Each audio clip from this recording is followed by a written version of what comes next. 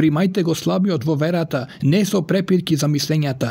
Еден верува дека смее да јаде се, а кој е слаб јаде само зеленчук. Кој јаде, нека не го презира оној што не јаде, а оној кој не јаде, нека не го осудува оној што јаде, зашто Бог го примил. Кој си ти за да му судиш на тук слуга? Тој стои или паѓа пред својот господар, а ке стои зашто Господ е силен да го постави да стои.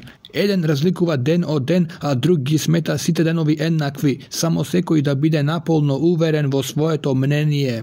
Кој го пази денот, го пази за Господа. Кој јаде, јаде за Господа, зашто му благодари на Бога. И кој не јаде, за Господа не јаде, и тој му благодари на Бога. Никој од нас не живее за себе си и никој не умира за себе си, зашто ако живееме, живееме за Господа. Ако умираме, умираме за Господа. Затоа живееме ли, умираме ли, Господови сме. Зашто Христос затоа умре и оживе, за да господари и над мртвите и над живите. А ти зошто го осудуваш својот брат? Или ти зошто го презираш својот брат? За зашто сите ќе застанеме пред Христовиот судски престол, зашто е напишано Јас сум жив, вели Господ, мене ќе ми се поклони секое колено и секој јазик ќе го исповеда Бога. И така, секој од нас ќе одговара пред Бога за себе. Затоа да не се осудуваме веќе еден друг, туку подобро да мислиме за тоа, никој да не поставува пред братот сопки или соблазни. Знам и уверен сум во Господа Исуса дека ништо не е нечисто само по себе, туку само за оној кој смета дека нешто е нечисто, нему му е нечисто,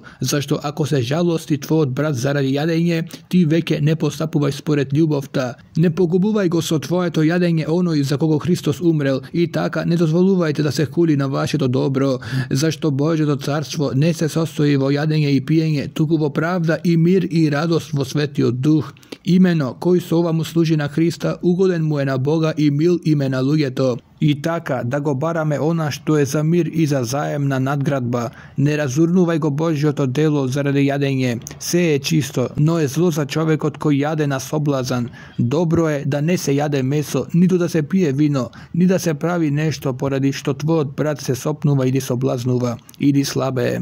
Имаш ли вера, имај си ја за себе пред Бога. Блажен е оној кој не се осудува себе си за она што го смета за добро, а кој се сомнева кога јаде, се осудува зашто не е од вера, а се што не е од вера грефе.